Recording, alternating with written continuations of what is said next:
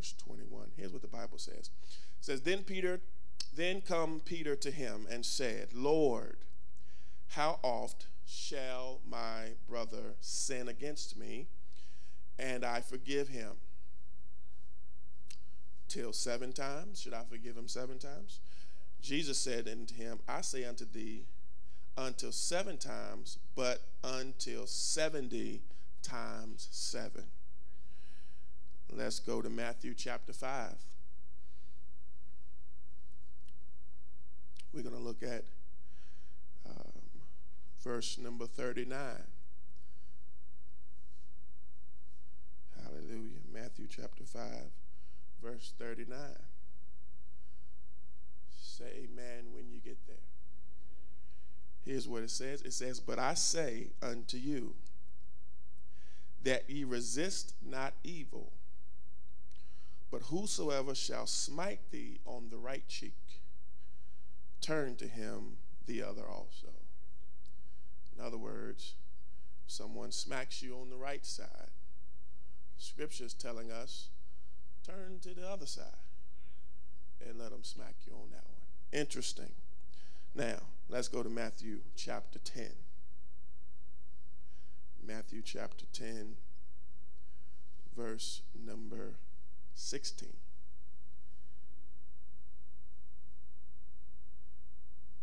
Say amen when you get there.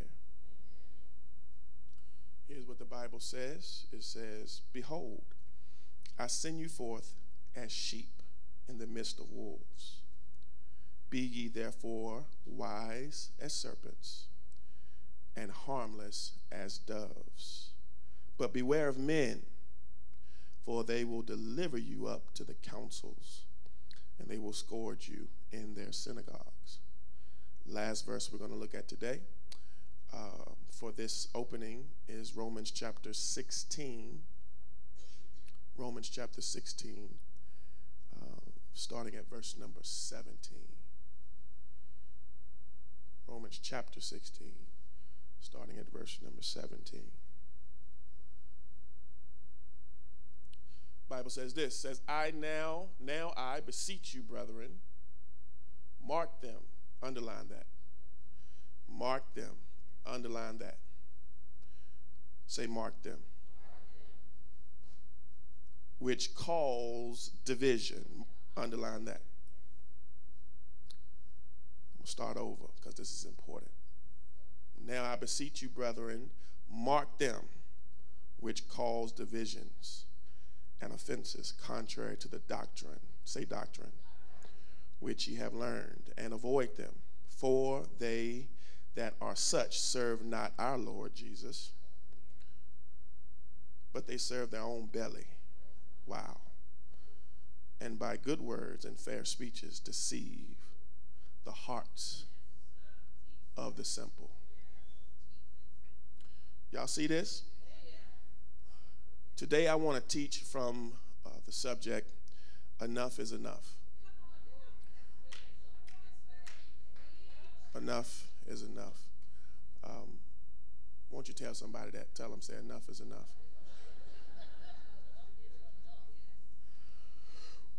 We have seemingly in these scriptures contradictions. Why do we have contradictions seemingly? Because the first two scriptures seem to highlight the fact uh, that as Christians, as believers, um, God is very interested in our ability to forgive those that abuse us. Seemingly, God is very interested in us forgiving those that mistreat us. As a matter of fact, a scripture that I didn't even go to was God says to pray for them. That what? Despitefully use you.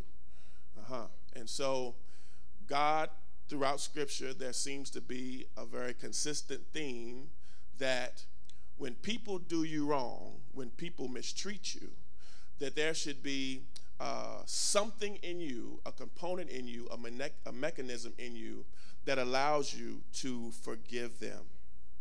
The scripture even goes further in Matthew chapter 5, verse 39, uh, and it talks about how if someone smacks you or someone strikes you, on one cheek, you're supposed to turn the other. I had some people that was listening to me read the scripture. You couldn't even read the whole scripture because you just imagine in your mind somebody striking you, somebody smacking you. Listen, listen. Some of you is like, that's not an option, Pastor Jay. I mean, I, I love the word, I love God, but I'm trying to tell you, I'm not there yet. Yeah, a whole lot of you are not there yet. But the scripture highlights it says, if, if, if, if one of your cheeks are smacked, turn to the other one. And so um, God seems to be, as we read these scriptures, um, letting us know that uh, that we need to be able to forgive, not just times seven forgive and forgive and forgive and forgive and forgive and forgive and forgive and forgive and forgive and forgive and forgive and keep forgiving and keep forgiving and keep forgiving over and over and over and over again, over, over and over again. But when is it okay to end it? When? When is enough enough? When do we reach the point of 70 times 7 expiration? Say amen if you're here.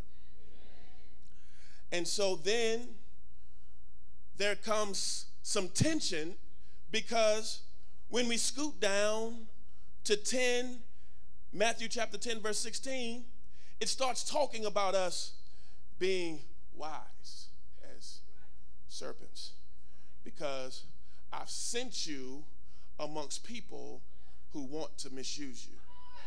I've sent you amongst people who want to devour you. Say devour. Says, I've sent you in the midst of wolves, and you are sheep. And y'all know what wolves do to sheep. And so now we get some seeming tension because God says now, after He tells me, all right, let them abuse you, let them misuse you. If they smack you, turn the other cheek. But then He says, be wise because uh, their intentions for you are not good. So He says, I want you to be wise as a serpent, but harmless as a dove.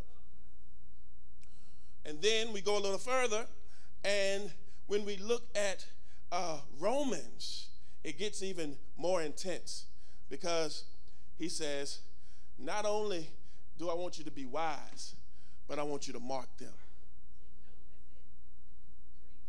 Now, where is my Christian responsibility lie when I know I'm in the presence of someone who means me no good?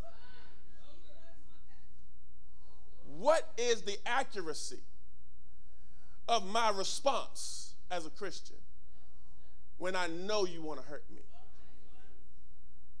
Are y'all here? Ask your neighbor, when does it need to end? Okay. Now, we talked last week about infidelity. We talked about unfaithfulness people that don't mean you any good, it will manifest itself in various ways. One is they can't be faithful to you. They, they, they can't they can't express loyalty to you. All right? They will get what they need from you and cause you to give them the best of you, not realizing that the best of you being offered is connected to an emotional attachment.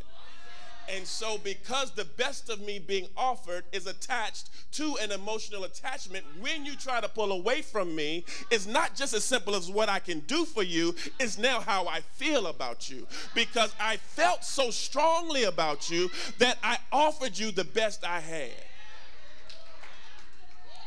And so, so now they step away and they find another that can give them what you could give them. Right? And now you are feeling this enormous void because you can no longer get the attachment even when it comes with abuse. Because after you give someone the best of you, you will willingly take the least of them. Because once you cross over to a certain atmosphere of love and intimacy, you're willing to take the scraps when you really deserve the whole loaf. But you'll take it because you are so in tune and so intimate. And so now you feel abused and drained and hurt because someone could not be faithful, couldn't be faithful to the best of you. Are y'all okay? And so last week I taught you about the stages of how unfaithfulness works. Y'all remember that? We talked about observation, temptation, invitation, consideration, and then ultimately participation, right?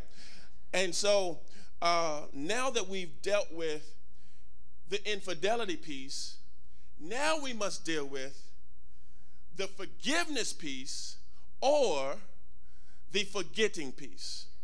Either I'm going to forgive or I'm going to move on. Where do we land? Are y'all still okay? I'm just slow walking because I'm working on something, okay? All right. Um, so I want to give you all three components today of how you determine when it's time to let it go. When it's time to move on. All right? And I don't want to just I don't want to just row your emotions about uh, the opportunity to leave someone. I want to have you better suited with scriptural context so that you can stay in compliance with heaven when you move on. Because you don't, watch this, because you don't want to give up on somebody that really was your assignment and you gave up on them because you were just being inconvenienced. This is not about being inconvenienced. This is not about being inconvenienced. Tell your neighbor, this is not about inconvenience. Okay. Uh, this goes much deeper. This actually goes all the way back to being unequally yoked. It goes back to being in relationship with the infidel. Infidel, root word of infidelity. They cannot be faithful to you because you don't have enough in common in your core value system. The core values are off. Okay? All right? The core values are off. So, are y'all ready for our three points? Okay. How do you know, Pastor Jay, when it's time to let it go? How do you know when you're in relationship and you're being abused and you're being abused and you've you've surpassed the point of turning the other cheek? The first thing you have to do is you have to go to the end. Say go to the end. Now, I need to explain this a little bit because um, it, it's, going, it's just going to take a little bit of explanation. But when I say go to the end, what I really mean is that uh, I need you to consider the potential of your end. Watch this. Not by death, but by humiliation. Stay with me. See, there's something uh, about loving someone, being with someone, everything's good, and they're your ride or die. Right? But what I found is when you go to the end, very many of the ride or die are really your run and hide. Because, because, listen, you're my ride or die as long as I'm respected. But what happens if I become humiliated? See, if I become humiliated, many of the people that I claim that claim to be a ride or die will run and hide. They will act as if they never knew me. They will, they will deny affiliation with me. They will not come to my rescue. They will not, I will not be able to talk to them. I will not be able to counsel with them. They will be talking about me instead of talking to me. And you need to do an inventory. Say inventory. You need to do an inventory of everybody in your life right now that will stand with you firm and tall as long as you're winning. They'll stand with you as long as you're on the right side of victory. They'll stand with you as long as you can put gas in their car and pay for their meal at Applebee's. They'll stand with you as long as things are going well and everything seems honky dory. They'll stand with you. They'll stand with you. But the moment that you get in some trouble, the moment that you're in imperfection, the moment that you have a slight error in your life, they will run and hide from you and they'll act like they don't know you and they'll talk about you as if you're a stranger.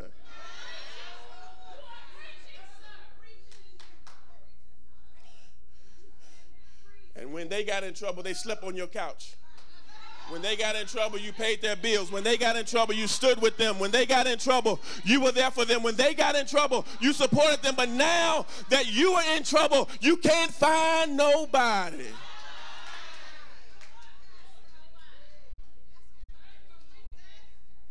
See, I only, you only need people close enough to you that can endure not just when things are going well, but they can endure when things get a little rocky.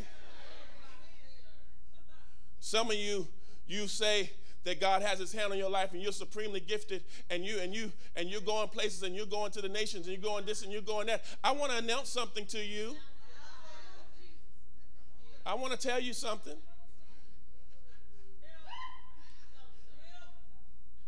If you are really as anointed as you think, I want to give you a guarantee. The guarantee is at some point in your anointment, watch this, pay attention, don't you ever forget it. Watch this you will be lied on. And I'm not talking about just some kind of casual lie. I'm talking about people that go to the depths of hell to try to find something to discredit your name. And listen, baby, if you ain't got no people around you that will stand with you, that know your character, that know who you are in good times or bad, you will be devoured by the same anointing that you seem to boast about. Yeah, that anointing. You claiming about all the great things you're going to do. Let me tell you something, baby. There will be stories that will be conjured up about you. People will not like you. They will attack your character for no reason at all. You at home minding your business, watching watching SportsCenter, watching The Voice, whatever you watch, whatever you do. You at home minding your business. And they are working overtime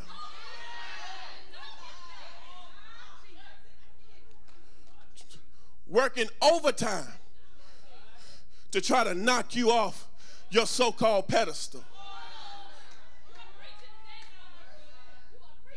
Yeah. But if you're wise, if you're wise, you will keep people around you that can endure the lie. Y'all don't want to have church today. You don't want to have church. I'm not. I'm telling you the truth. You will keep some people around you that can look somebody in their eyes and say, "Yeah, I hear what you're saying, baby," but I know them. Hallelujah. I know them, and that does not match their character.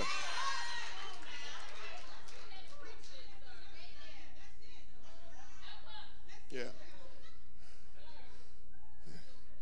And see, and while I'm on it, while I'm on it, see, some of us some of us, see, you really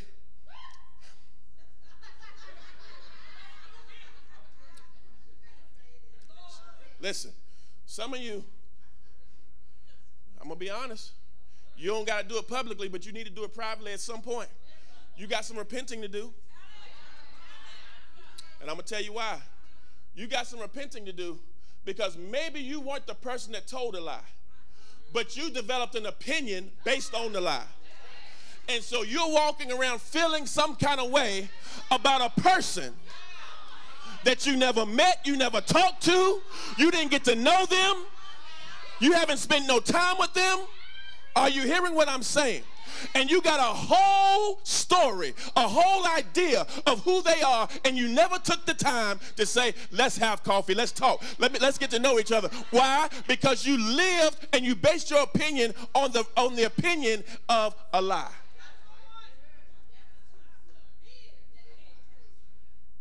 Are y'all okay? Sometimes you you got it wrong about a person. You got it wrong. And you really need to give them the opportunity. Am I making any sense today? The second point is confusion. Confusion. Let's go to First Corinthians. Uh, media team, I didn't give you all this scripture, it just, it just came to me during worship. Let's go to First Corinthians 14. Y'all find it for me if you can. First Corinthians 14, verse 33. 1 Corinthians chapter 14, verse 33.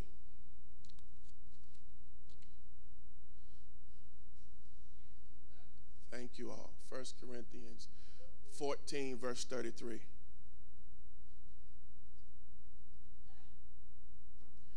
Y'all there? If you're not there yet, look to the screen. Here's what it says it said, For God is not the author, underline author, of confusion. In other words, um, God cannot, does not, will not create confusion. How do you know that it's time to end? Because every time you turn around, there's confusion. Wherever the enemy is, there's confusion. You don't have you don't have to have you don't have to be a rocket scientist to know this. If there's confusion, the enemy's in it. I'm not talking about inconvenience. I'm talking about confusion. Two different spirits. Sometimes you got to work a little harder. Sometimes you're being thrown into confusion. For God is not the author, meaning he did not write the script. He did not create it. He did not, he did not manipulate uh, uh, the world to have confusion. God is very clear, concise, straightforward.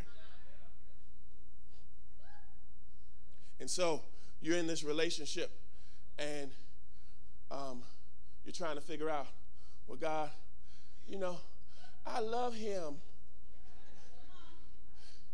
I love him. He's so good to me. And, you know, I love her. And see, what what what I always am trying to understand is is that because love is not easy, but it's not confusing either. Say amen. See, when confusion gets in, that means that there is a plant set, there's a trap set. Because wherever there's confusion, see, we can't navigate around it. We gotta, it's kind of like a, a, rug that has something uh, uh, like trash stuffed up under it. And every time you try to run, you fall over it. See, confusion is something you can't get around. It slows you down, it stops your progress, and you cannot untie it until there are two willing parties willing to untie it. Say confusion. So if you're in a relationship and there's constantly confusion, this is a relationship that's probably unequally yoked. unequally yoked. Are y'all okay? Now, the third and the final point I'm going to make, and then we're going home, is virtue. Say virtue. Uh, go to the book of Luke, chapter 8, verse 45. While, I, while y'all are getting that, could you take that chair for me and just, uh, do we want to do it up here? Yeah, bring it up here if you could. Um, thank you, sir. Yeah, right here is good. I'm going to turn it this way. All right. Okay. Um, and that's what I need over there. So, um, y'all got Luke chapter 8, verse 45? Here's what it says it says, And Jesus said, Who touched me? When all denied, Peter and they that were with him said, Master, the multitude thronged thee and pressed thee, and sayest thou, Who touched me?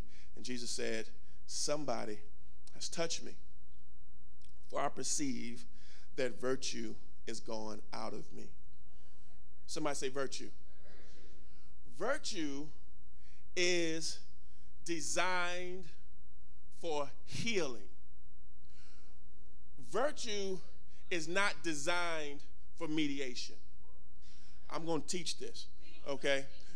Virtue is designed for healing. Jesus is going through the crowd and he says to Peter, Somebody touched me. Peter says, Jesus, you tripping, man. You've been in the sun too long. It's it's a whole lot of people out here. It's hundreds of people out here. Jesus said, That's not what I'm talking about. He says, Somebody touched an inner part of me. Because how do I know? Because it drained me. Man, oh man. I want to teach this. He said, because I felt virtue leave me. I felt tired. My God. Said, virtue left me. Virtue left me. Virtue left me. That's how I know somebody touched me. That's how I know someone was sincere. That's how I know. That's how I know somebody wants change. That's how I know. I'm teaching this thing. That's how I know somebody is serious about change because virtue, fatigue hit my body.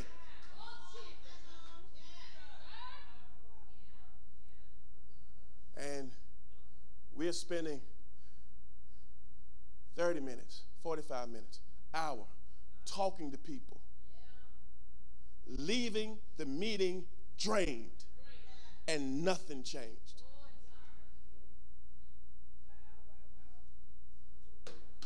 I'm coming for that devil today.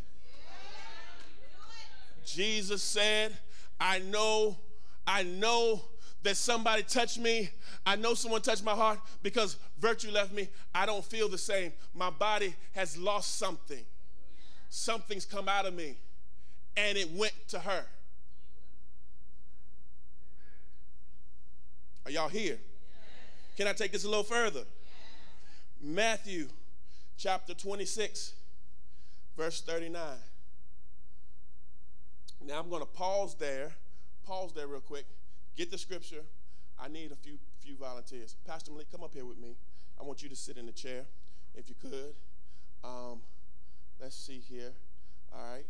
Um, Greg, come. Jason, come if you could. Um, I need two more. Cynthia, come if you could. Um, come on, Miss Miss Booker. Yeah. You don't want to come? I'm sorry. You okay? You, I know you. You all right? You sure? You sure? Okay.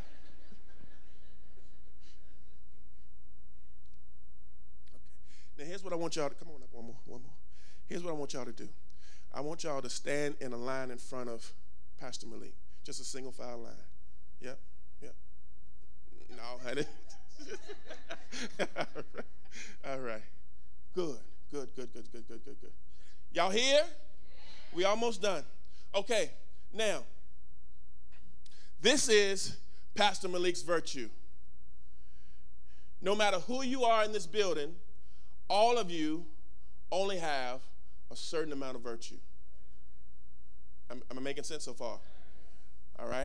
God doesn't give anyone any more than the other. What happens is, it's how you manage it, it's how you preserve it, it's how it's replenished, right? But you don't get any more, it just gets replenished.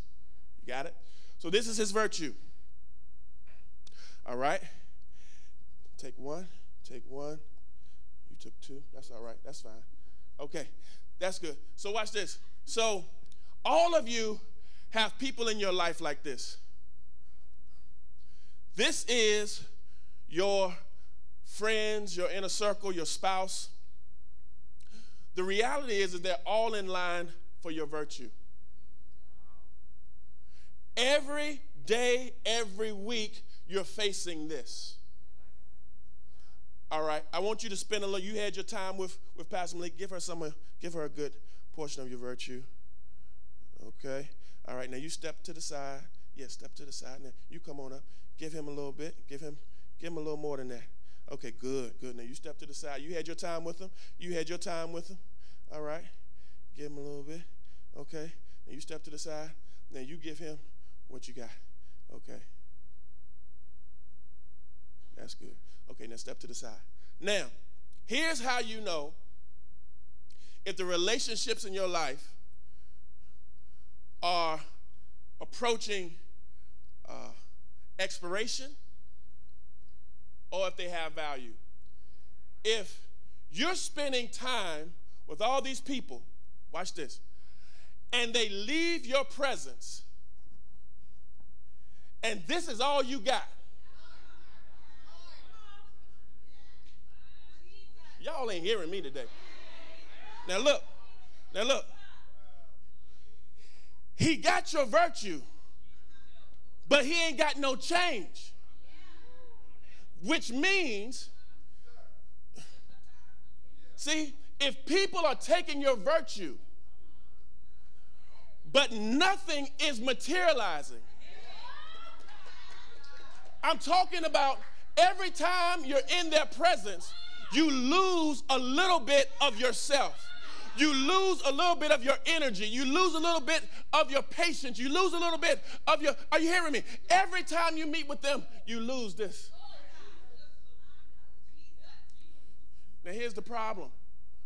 The problem is, is that I've given them my virtue, and most times, uh, here's what they'll do. I wish somebody bring me so bring me a trash can or something I can pour this. See, because here's what happens. I should have thought this. I should have thought about this, but the Lord, the Lord, the Lord deals with me as I'm talking. Okay. Oh, perfect. See, the God is good, y'all. So, so we're gonna do this again, and I'm gonna show y'all what happens and why you need to let some people go. Not everybody, but some people go. All right. Ha- have your meeting, sir. Have your meeting. Have your conversation have your inbox or whatever with Pastor Malik. Go ahead and meet with him. Now give him what you got. Give him your virtue. Now watch, this is what happens, y'all.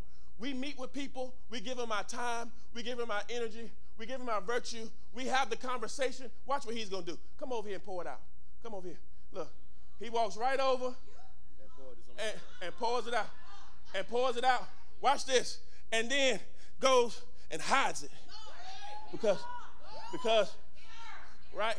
And then, because, see, when people have no interest, no interest in change or no interest in the value of the relationship, they'll take your virtue and have no desire to replenish it, no desire to put anything back.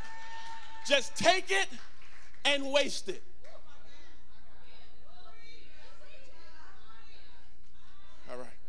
Now, y'all get back in line real quick. Get back in line. Get back in line. Same order. Yep. Perfect. Perfect. Perfect. Perfect. Perfect. Perfect. Now, can I go deeper? Are you sure? How much time we got? We got two minutes. Watch this. So, y'all saw he had the meeting, right? Got the virtue, poured it out, hid it, so it can't be replenished. Here's what ha- here's what happens next. He gets back in line.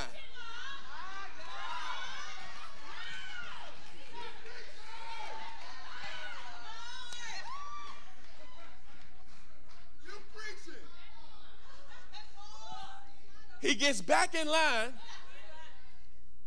but I ain't done. Not only is he back in line, y'all ready for this? Watch this. He then, look forward, Cynthia. He then creates a, no, no. He, well, yes. He creates a view of Pastor Malik that's behind the virtue he's wasted. So, in other words, his criticisms start like, well, you know, Pastor Malik, he just, he don't preach like he used to. You know, I just, I feel like something's different about him. He ain't, he ain't, he ain't the same no more. He don't, he don't, he don't spend time with me no more. He, I, I had, you know, I, I used to, I used to have, I can't, talk, I can't get to him. He don't preach like he used to. I mean, something's different. Something's off. Because why? Because his view is behind wasted virtue. So he's seeing a depleted version. See, when we started, his cup was full. Now his cup is empty and you got people getting back in line, critiquing and criticizing a vessel that's empty.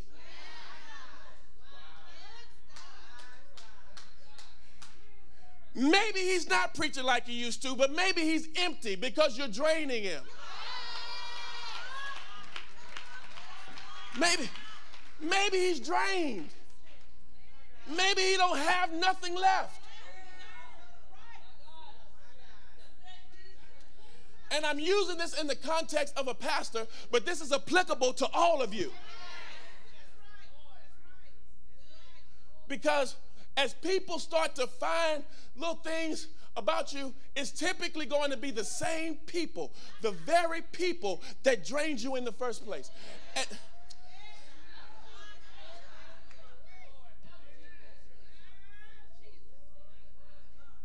so you have to get to a place where you say, you know what?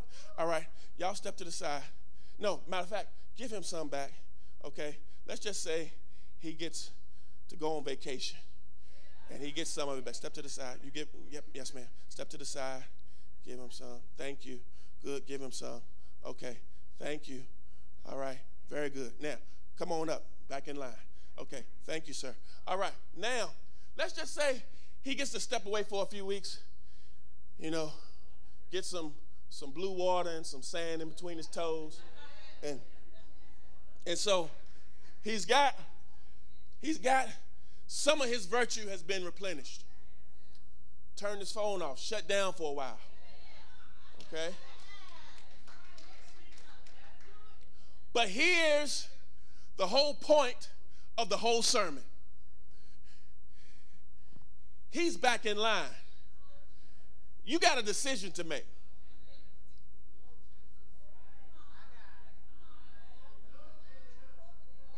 You got a decision to make, church. At some point,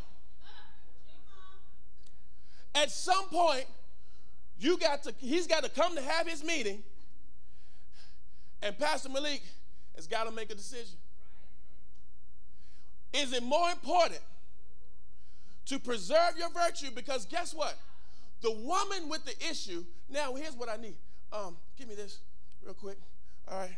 I'm going to show y'all something. And I'm done for real. I'm done. But the Lord is still speaking. So, all right. I need a uh, Elder Paula, where you at? Come on up here real quick. Because here's the part, because some of y'all saying, Pastor Jay, he he always come up with these examples, and I can't find them, and I don't know what he's talking about. He ain't in the Bible. He don't. Come on, stand, you, stand behind him. And see, um, because, you know, and, and whatever. But here's the reality of it is that this is, because sometimes people will feel like, you know, you can be someone's savior.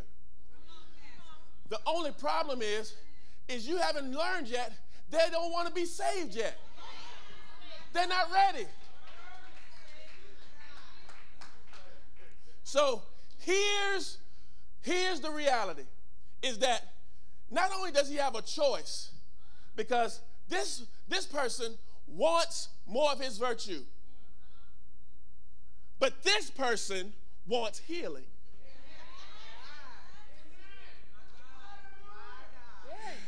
and if he wasted on him he won't have nothing for her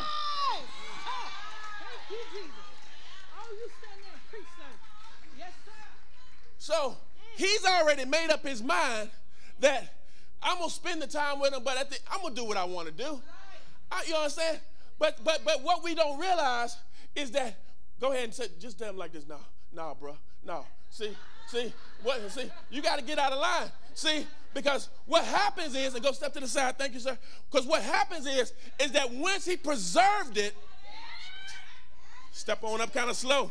Go ahead. And see, now the person who really needs it.